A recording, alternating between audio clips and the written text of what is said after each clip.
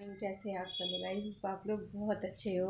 तो बस आज है कल दीपावली है तो आप सभी को मेरे तरफ़ से पुनः जो है दीपावली की ढेर सारी शुभकामनाएँ। तो बस जस्ट अभी मैं नहा चुकी हूँ और अभी मैंने पूजा किया है। अब जा रही हूँ किचन में घुसने। तो चलते हैं किचन में देखते हैं क्या बनाते हैं आज। तो अभी तो मेरा बनाने का कुछ दूसरा प्लान है। आ, मैंने अभी नहीं बनाया है।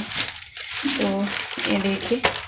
आप लोग भी हाँ एडवांस में हमारे घर की मिठाई खा लीजिए और दीपावली की जो है आप भी हमारे साथ जो है इंजॉय करिए। तो आप ये सबको ये मिठाई आप लोगों को जो है हम क्या बोलूँ? जो है समझ में नहीं आ रहा। ये मिठाई आप लोगों के लिए है। तो सबसे पहले आप लोग भी मुँह मीठा कर लीजिए। तो चलिए दीपावली के लिए आप सभी को आ, मतलब आ, मेरे घर की ये मिठाई आप लोगों को समर्पित है। आप लोग भी खा लीजिए जो है। चलिए ठीक है, अभी चलते हैं। तो खाना में जुटते हैं। आज सोच रहे हैं कढ़ी बनाने के लिए तो वही बनाएँगे। मन तो कढ़ी का ही है और कढ़ी चावल, क्योंकि दाल नहीं बनाएँगे, दाल बच्चे खाते भी नहीं हैं।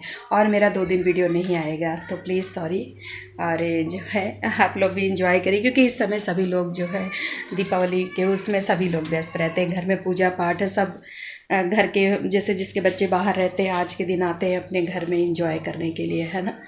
तो चलिए ठीक है, रखते हैं। आप लोगों से नेक्स्ट ब्लॉग में फिर मिलते हैं। तब तक के लिए बाय बाय हैप्पी दीपावली।